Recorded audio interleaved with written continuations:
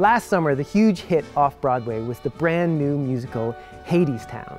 And this year, before it goes to Broadway, it's coming here to the Citadel Theatre in Edmonton.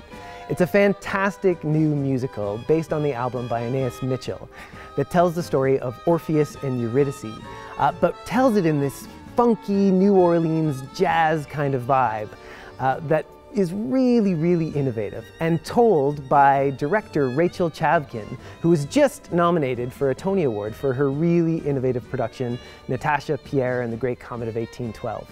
It stars an incredible cast of Broadway stars and amazing Canadian performers. And if you're going to pick one show in our season to see this year, make it Hadestown. So you can tell all of your friends you saw it before it went to Broadway.